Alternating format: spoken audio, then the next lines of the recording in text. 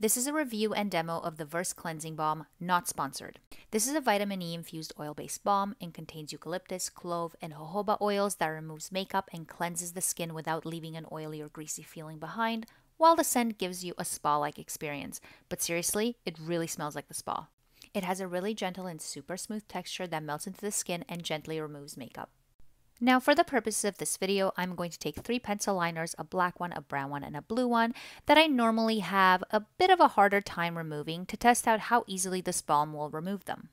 Once I apply the balm and start to massage it into my skin, it starts to melt right away and without any harsh rubbing, it starts to remove those liners. Now I'm just going to go ahead and grab a tissue and remove that excess balm and like magic, ta-da, those three liners are gone. I'm really impressed with how easily and gently this drugstore balm removed those liners. This is definitely a product I'll be using as part of my double cleansing routine.